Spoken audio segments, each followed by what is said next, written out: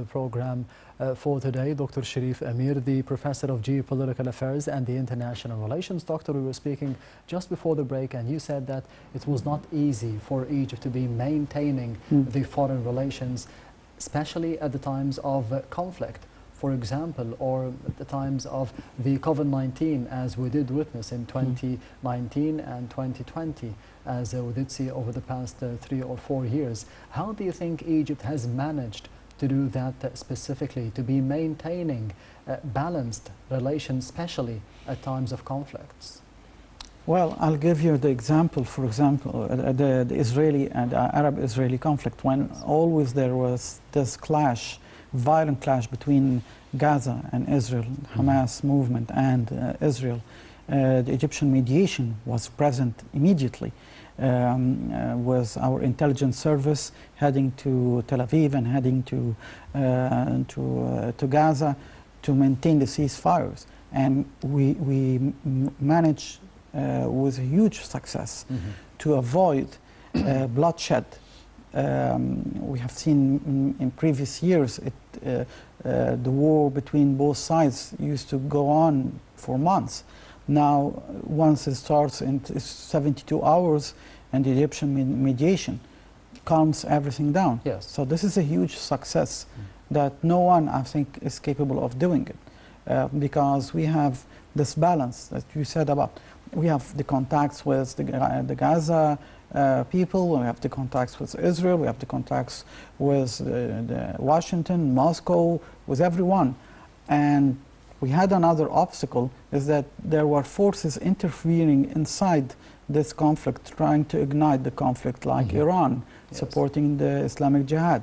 So at that time, we had to also convince the Palestinians that you have to listen to your own voice, not to other people's voice. Yes. When we call them to unite, it's the Arab voice. We're not uh, talking about e- Egypt's voice only. We want them to be uh, secure, to be united. This one of the main issues that we have reached a huge success. Then we have seen how, how things went terribly wrong in Libya. Yes. And at that time, we maintained one line that we support Marshal, Field Marshal Khalifa Haftar at the time with the army, the national army. There were factions everywhere. Mm-hmm. At that time, when NATO bombed Libya, arms were in the hands of terrorist groups. Uh, there were uh, smuggling of uh, illegal immigrants, smuggling of the oil. It was a failed state we were criticized by many people why we chose to support the army in, in the, the, the national army. We said because this is the national army of the state. Yes. And now what Libya, it's fragile. We're not saying that everything is beautiful there. It's very fragile now. But at least, at least, the civilians are not paying the price now. Maybe there are disputes between the factions, disputes between the politicians, but at the end, the people are just living in, in calm. It has to be rebuilt again, Libya. And then we had the problem, of course, of, of Sudan uh, with Omar al-Bashir, who was ousted, and then we had to gather all of them here in Egypt and convince them that they have to have the dialogue and the transition uh, uh, period, and unfortunately what happened again.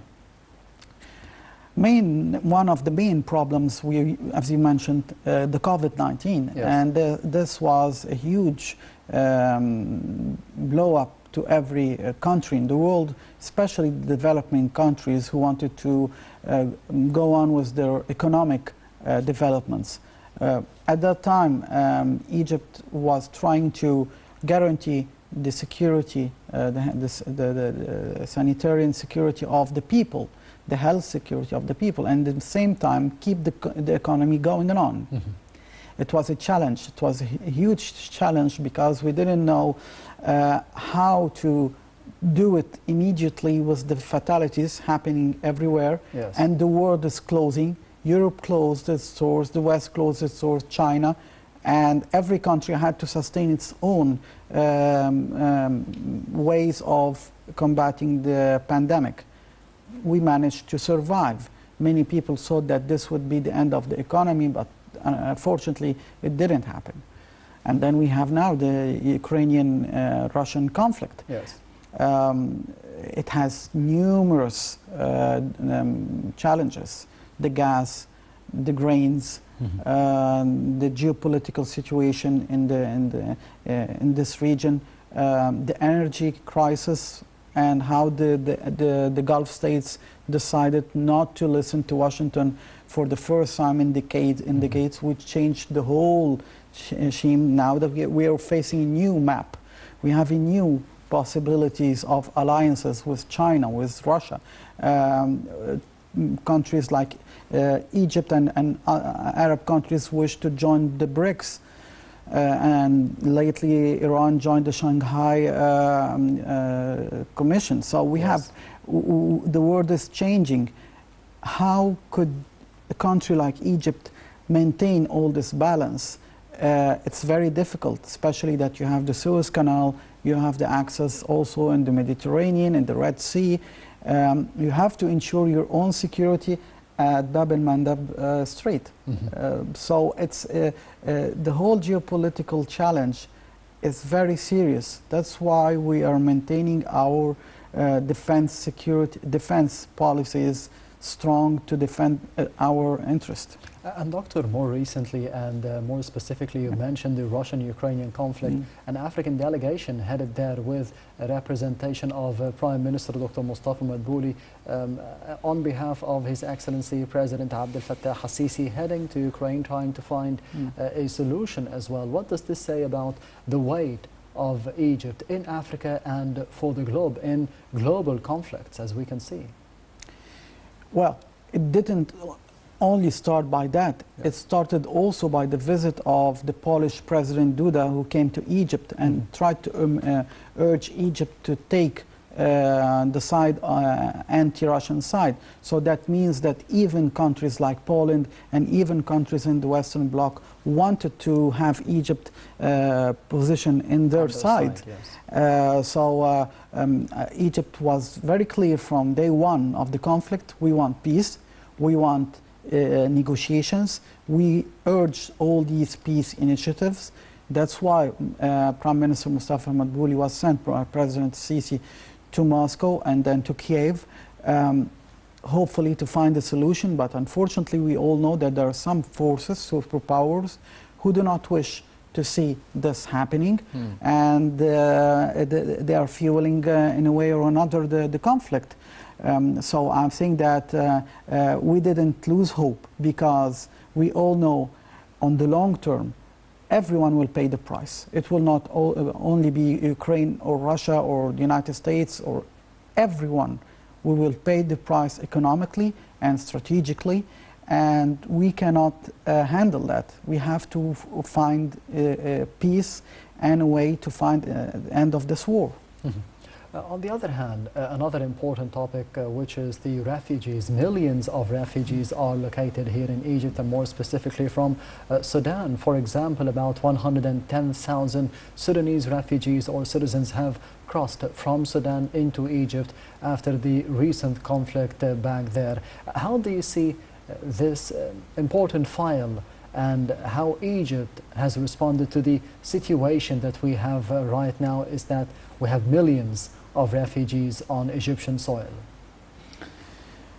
Well, uh, it's a huge, huge challenge because we all know that uh, the country uh, pays. Um, th- these people live with us Yes. and uh, uh, with all the Egyptians, so um, they they have to be uh, sustained by the state.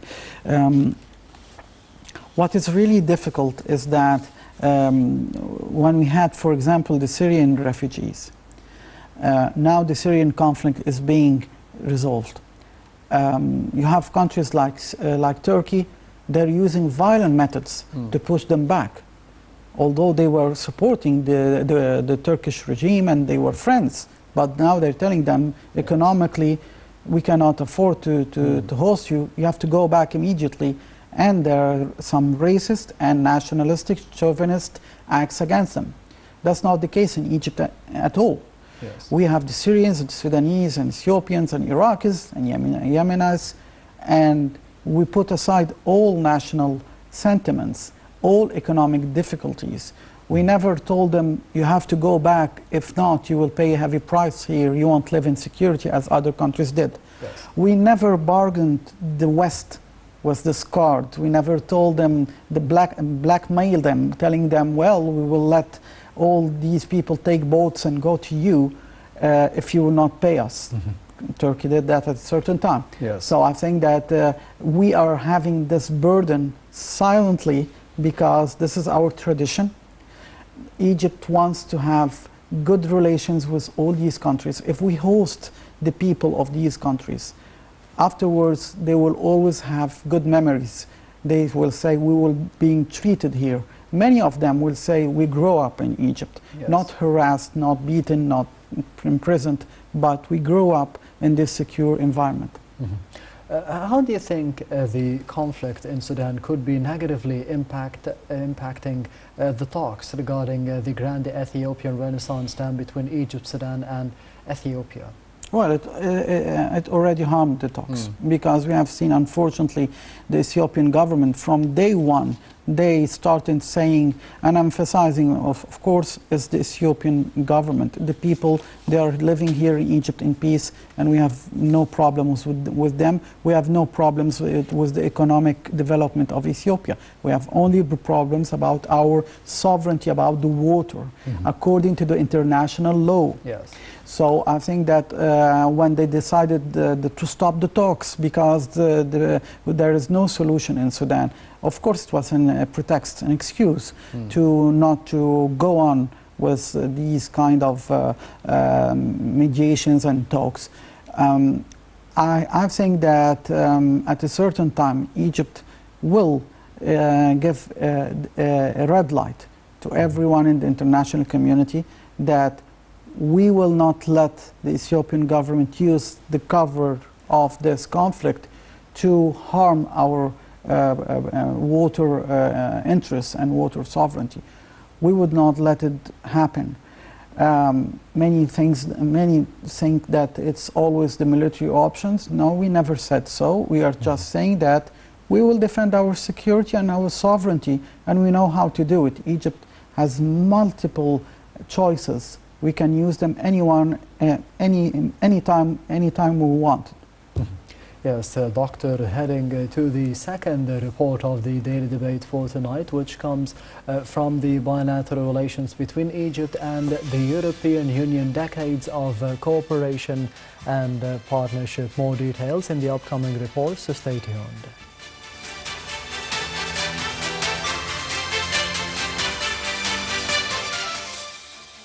Egypt and Europe are bound by history and geography. The European Union and Egypt both have a long-lasting relationship and will continue to expand cooperation on basis of partnership and joint commitment. Egypt and Europe are working on an ambitious and innovative new agenda based on the conviction that by working together and in a spirit of partnership, common challenges can be turned into opportunities.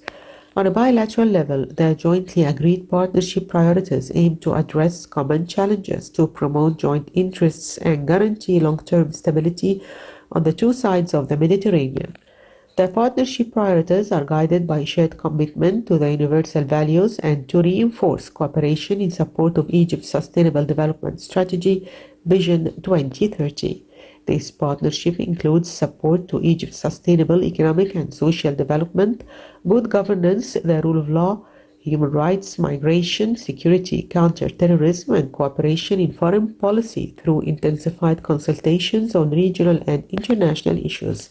Egypt and the EU have been moving forward engaging on shared priorities under their association agreement which was signed in 2001 and entered into force in 2004. The association agreement established a free trade area FTA between the EU and Egypt by removing tariffs on industrial products and making agricultural products easier to trade. The EU is Egypt's most important trade partner, accounting for 25% of the country's total trade. Bilateral trade in goods has almost tripled since the FTA entered into force, growing from 8.6 billion euros in 2003 to 24 0.5 billion euros in 2020. Egypt mostly exports to the EU fuels and mining products, chemicals, and agricultural products. The EU is also the leading investor in Egypt with accumulated investment stock of 38.8 billion euros, representing around 39% of the country's total foreign direct investment. Egypt remains the second biggest recipient of EU FDI in the Middle East and North Africa region. The European Union and Egypt are continuously working on improving trade and investment relations in order to foster mutually beneficial development and growth.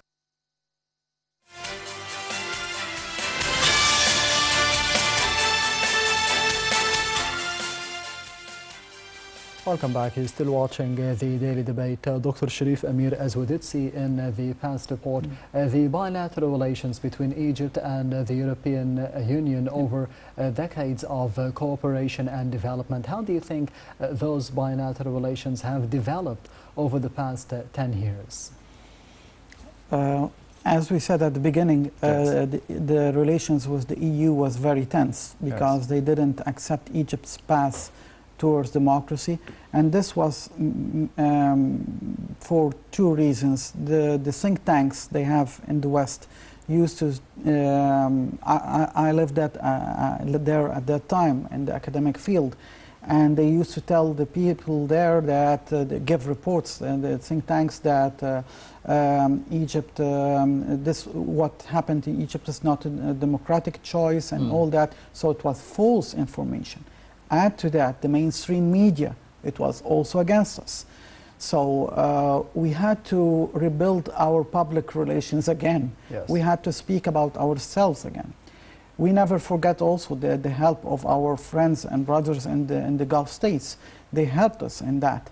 But Egypt had to do it also by itself. Mm -hmm. And at that time, the EU uh, was measuring and balancing several things.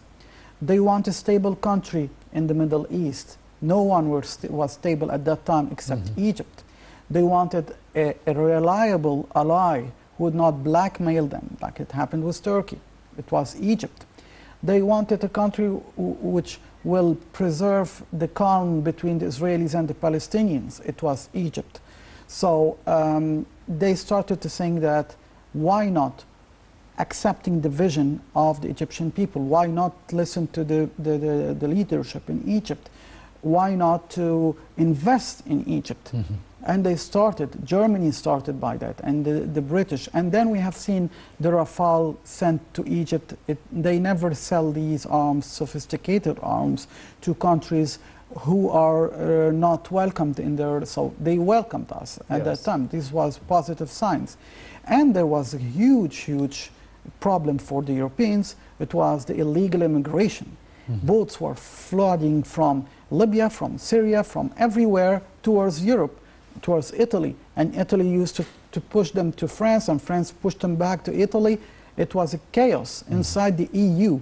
Egypt had a strong navy, and we have a, the, the best navy in the Mediterranean now. We defended all these uh, interests. We told them we will work together under one condition respect Egypt's sovereignty. And this what happened, and then the relations began to develop. Mm -hmm. Yes, and finally, how do you see the fields of uh, cooperation for the future as we have spoken about the achievements that we have had internally mm. and externally, more specifically about the foreign policy file under uh, the, uh, His Excellency President Abdel Fattah al-Sisi and Foreign Minister Sameh Shoukry ever since 2014. How do you see the next 10 years in terms of uh, cooperation with the European Union, with the African continent, and for the rest of the world in this file in general? Well, we, we are witnessing now uh, the de-dollarization, as people are um, calling like that. The dollar now is being uh, fragile uh, because many uh, are seeking to make uh, deals, many countries, with their own currencies. Mm like the, the yuan, uh, the Ch Chinese yuan and yes. the, the Russian ruble. Uh, and people are trying to, investors trying to flee this uh, pressure of the dollar. I think this would change tremendously the relations, international relations. Mm -hmm. Once we will be free from one currency, we will have our own uh, freedom to trade with our own uh, currencies. Mm this will change many things. I think Europe will, uh, Western Europe, of course, will um, get to the conclusion that a country like Egypt, who stated that we have to be, be balanced and have a position clear about the conflict now, this was the right thing to do because they're losing a lot econom economically. And we are, doing, we are losing also, but because we are all in the same bo boat. Mm -hmm. But we have the right vision. Endorsing war is not an option. Yes, uh, Dr. Cherif Amir, the Professor of Geopolitical Affairs and uh, the International Relations, thank you very much for being with us tonight. Thank you. Anytime. And this brings us to the end of uh, the daily debate for tonight. I will be leaving you, however, with the latest uh, presidential activities of His Excellency President Abdel Fattah al-Sisi in the past week in the upcoming report. Thank you for watching and goodbye.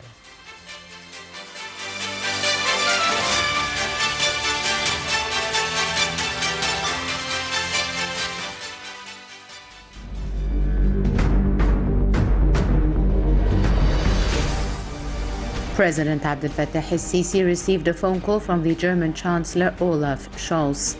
Ahmed Fahmy, spokesperson for the presidency, stated the call dealt with ways to enhance the distinguished bilateral relations between Egypt and Germany in all fields. President Abdel Fattah el-Sisi received a phone call from Mrs. Giorgia Meloni, Prime Minister of Italy. Ahmed Fahmy, spokesperson for the presidency, stated the call included mutual praise for the historically distinguished relations between the two friendly countries, in addition to the existing cooperation to address many challenges in the Mediterranean region. Egypt followed with great interest the results of the presidential elections in the sister country of Sierra Leone, which resulted in President Julius Maada Bio winning a second presidential term. In this regard, Egypt congratulated His Excellency on his re-election as the President of Sierra Leone following an electoral process that reflects the level of awareness of the brotherly Sierra Leonean people and affirms its support for His Excellency in continuing work to achieve the aspirations and hopes of his people. President Abdel Fattah el-Sisi held a phone call with the Greek Prime Minister Kyriakos Mitsotakis. Ahmed Fahmy, spokesperson for the presidency, stated that President congratulated the Greek Prime Minister on the great electoral victory achieved by the ruling party in the parliamentary elections that took place last June.